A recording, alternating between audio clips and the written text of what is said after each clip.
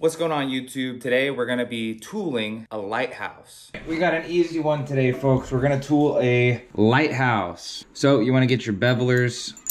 We are going to rock with some smaller bevelers here.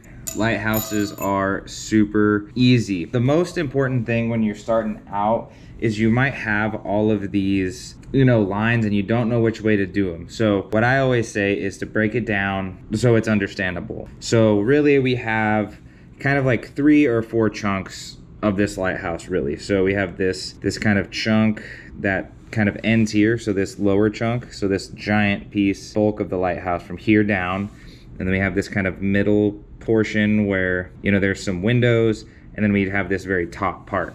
So we're gonna break it down so even a dumb person like myself can figure it out. So we're going to bevel this because the perspective you know, you're at the ground level, almost the way you're looking at it right now is basically the, the same perspective that a person who would be looking at this lighthouse has, right? So, you know, you're not going to see the part where this upper portion connects to the top of this lower portion here. So we're going to bevel this line in this way. Then we're going to come around the outside and give us our silhouette. Now this is tricky because I put these two things way too close together, these letters and this lighthouse, but we're gonna make do.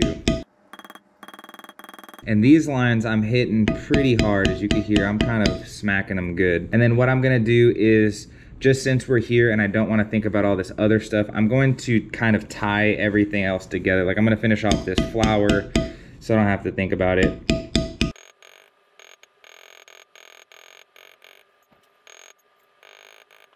Okay, back to our lighthouse. Um, like I said, we're gonna break it into three chunks. So then our next chunk is gonna be this top portion here, which you can hear.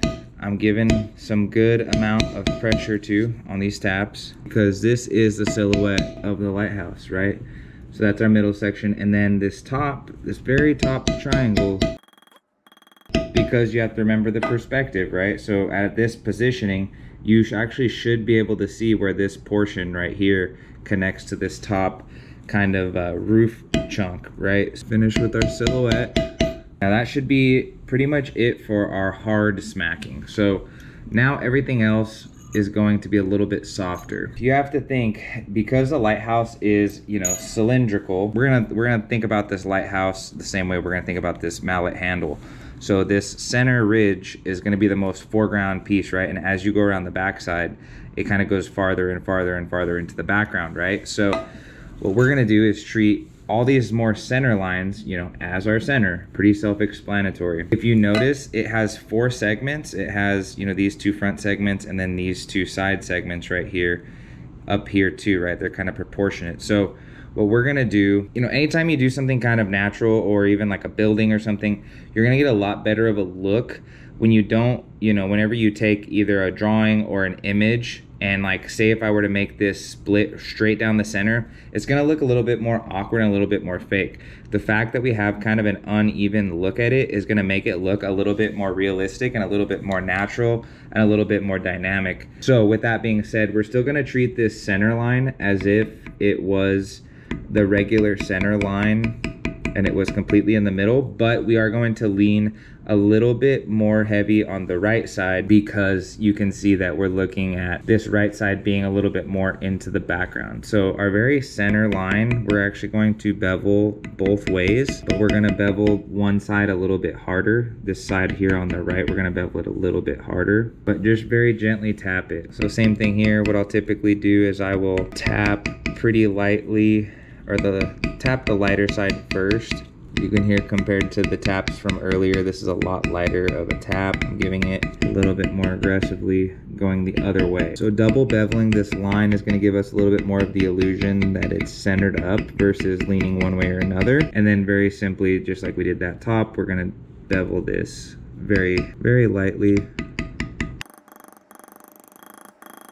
I mean, like how much better it looks already. I mean, we could we could damn near stop there if we wanted to, but we're gonna take this thing over the top. So what we're gonna do is this portion up here, we're gonna do is put this, this these are windows with the lines right here, these two chunks. So we're gonna kind of put those in the back. So we're gonna alternate, set these up like that. And what I should do is come in with a swivel knife Make sure that these lines are nice like that. We're gonna give them a couple verticals. You can see, as long as you're kind of getting the spacing right, then you can come back in here, kind of with, grab another, you know, grab at it, and then you can finish that line off solid. Good, and that is our little window chunk. So what I'm gonna do now is give this roof some texture. So I'm gonna make sure to go super parallel. And I don't want these lines to go all the way across, so I'm gonna kind of give it a little bit of a fade just something like that. Quick interruption. YouTube has notified me that literally 80% of you guys who watch my videos are not subscribed. So please hit that subscribe button. We are trying to hit 3,000 subscribers by the end of 2023. I'm not a full-time YouTuber. I am a leather crafter who makes videos in his spare time, just trying to put out some extra content for you guys. So please hit that subscribe button, like this video, share it with a friend, do what you can. Most of these videos take five or six hours to make between filming it, editing it, making a thumbnail, all that stuff. I don't get paid to make YouTube videos. I just enjoy doing them. So in return, if I bring you any kind of value, whether you laugh, laugh, you cry, you learn something, whatever it might be, please hit that subscribe button. Now back to the video. Hard to see, but there you can see what I did. Just a little bit of texture. And then same with these other, this other top portion. Something like this. You know, just to give us some textures.